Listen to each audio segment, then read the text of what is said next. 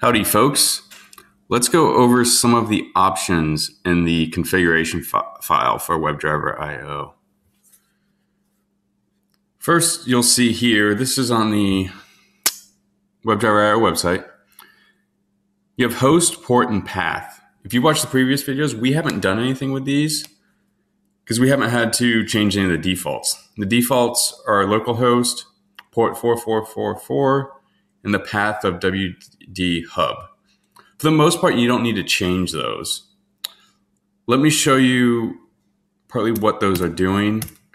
So if you remember, we, we're using Chrome driver for everything. So when we started, we specified the port of 4444, which WebDriver automatically listens on, WebDriver IO, the URL, URL base WD Hub. So we've done that, and then it defaults to localhost. So we haven't, we didn't need to define these for any of our things. Um, so if you needed to, I don't know, for if you're using Gecko driver, I think Gecko driver is the the path um, defaults to just the root. So instead of the WD hub, so that you would just have that. You would just have the root like that. Uh, if you're running it on like Sauce Labs or BrowserStack, you don't need to worry about that either, any of these either, because it'll figure it out for you. The only time you'll need to really use these for the most part is if you're running a, a private Selenium backend or some kind of grid or something like that. All right. So next up, you have a user and key. This can be used for a third-party service like Sauce Labs or BrowserStack. What they will do is is they'll provide you a user and a key that you specify, and WebDriver IO will automatically take care of all the rest for you.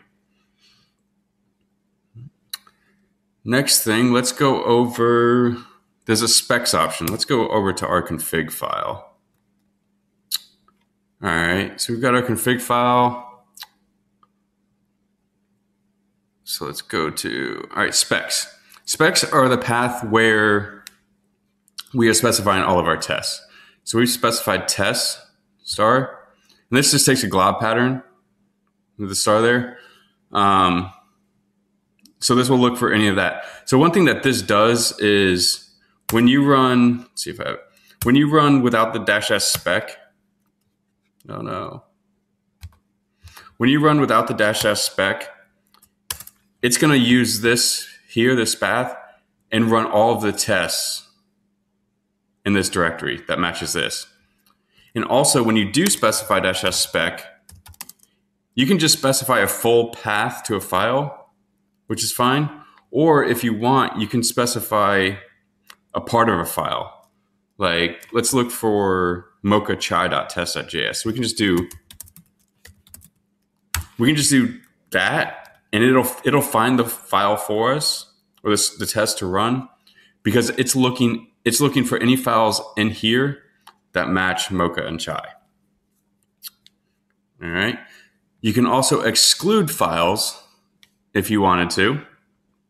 The same same concept in the specs. Just specify either a full path or a, a or a certain match on what you want to exclude.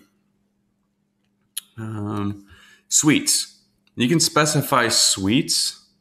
You see here a specified browser and login. So if we want to just just test our login, so maybe like a developer uh, made a change to the login screen or something like that. Maybe you had you have you know two or three thousand tests, and you don't need to run all those tests. You just want to run just the login ones. So you can you can group whatever tests are for the login. You can also do a glob pattern as well. So you could do something like tests. Maybe had a login directory and something like that. So then any any files within the login directory would get ran whenever that spec is ran or whenever that suite is ran. And to run the suites, you can do it just like we did the, the dash dash spec. You can do dash s suite and specify the suite to run. So sometimes maybe you'll do that in your in your continuous integration system where developer makes a change and they don't you don't need to run the whole every single test in, in the system, but maybe you just need to run tests based on what they changed. So that, that's where the suites can come into handy. Then we have max instances. What max instances does is how many tests will run at one time. So you can have a bunch of tests run in parallel. So you, you can have, if we got here, so we have, we have it set to 10, 10 instances right here. This could run all of these at the same exact time. If you're running it on your own computer, it, your computer probably can't handle 10, 10 instances because what that does is it spins up 10 new um, browser instances. You, you want to have this set to 10 in your continuous integration environment, most likely. Um, but if you're just developing locally, mo most of the time you just want to have it to one. So you have it to one. Next is capabilities. Capabilities is where you define your, your browser options. So we've been working with Chrome, which is great. We can use that. Um, we can also specify Firefox in here as well.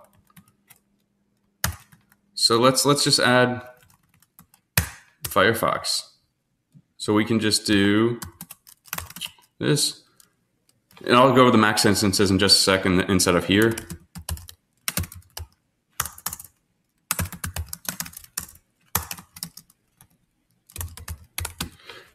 So what this will do is this will run in Chrome and Firefox, assuming we have the correct drivers running in the background. We've been using Chrome, so this wouldn't work because we've only got Chrome, the Chrome driver running.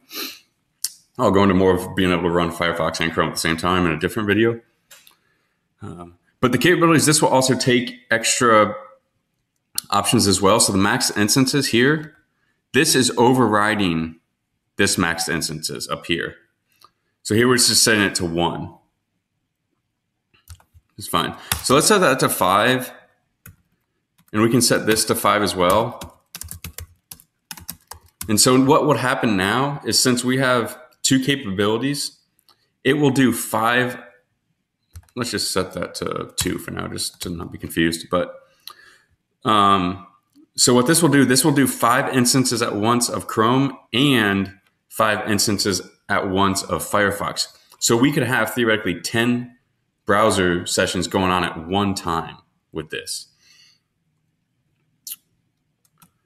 The other options you can go to, you can pass to capabilities. I'm not going to go over all of them because that's a video in itself. But with Chrome, you have a Chrome options key here. You can specify like headless and different things like that. You can set the default window size. Firefox does it a little differently. They have the Moz Firefox here. You can specify if you want it headless or not. Most time, if you're running it in a continuous integration environment, you want to do headless. Um, else you got to do like virtual display and deal with all that stuff. Um, you can also specify what specs you want to do for that browser if needed. Um, all right, so now that's over. The exec arg v.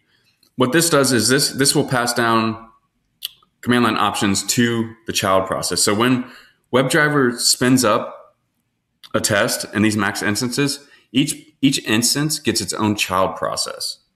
So what this does, this will pass down the parameters here to that child process. So sometimes you want to do dash dash inspect, which is the the, the node debugger.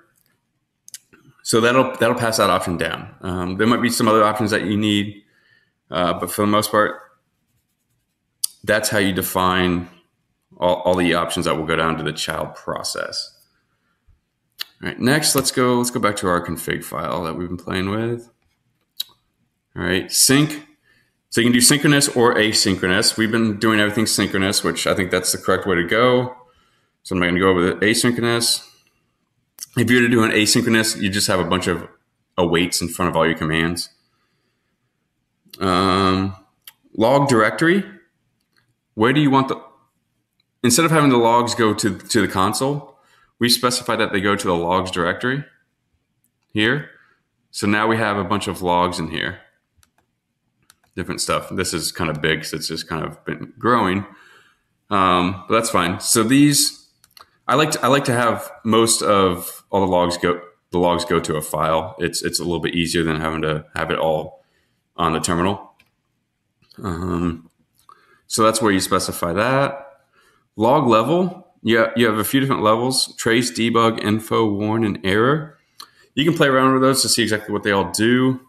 Um, but if we did info, we'll get info, warn, and error. If we do trace, we'll get trace, debug. A lot of times, if I'm just debugging, I'll put it to trace. Um, if I'm running it through this continuous integration system, I might have it as info because trace will just give me everything. Um, info might just give me info, warn, and error. Don't need everything. Um, what's next? Deprecation warnings. I'm not sure if this is used in V5 anymore. So I would just keep this at true if it is. If you do, if you do have it, um, I wouldn't worry about it. Bail. What bail does is if you have, say, you have a suite of 100 tests, and maybe there's a network issue. So, or some someone did a very bad fix, or, or implemented a very bad bug. So pretty much every single test fails. So it's just running every test fails. And it keeps trying to run, every test fails. So that's going to take a long time if it has to do all 100 and they all fail. So you can set this to like 10. So if 10 tests fail, WebDriver will stop and just fail at that point and return, which is good. Like I, I think I default it mainly most of the time to 10. That way, if there's some just somebody introduces a blatant bug that breaks everything, we just stop at the 10th failure and it'll just put the results back and be like, all right, something something bad happened. Base URL. Base URL will do is sets your base URL. So you might have seen us do like browser.url like this. Well, we could set this to our base URL. Let me just copy this. So let's do. So we could do that. We can just set our base URL like that. And then instead of having to specify this URL every time, we could just specify that. And that would get us to that URL. So then if we wanted to, let's go to here. So that's the same URL. So we've got checkboxes. So if we wanted to open up the checkboxes page, we could just do do this now. So we don't have to put the full full URL, which is nice. And then if ever our URL changes, we can we can do that. All right. What's that? Wait for a timeout. So if you remember from previous videos, we did the wait for exist, wait for displayed, and different things like that. We can default that here and that's what we're doing. So the default is going to be 10 seconds here. So if we don't find an element within or, or find what we needed within 10 seconds, it's going to fail. And this will apply to all the wait for commands. We wanted to change that to 30 maybe. That's fine. So the wait for interval, we have this set to one second.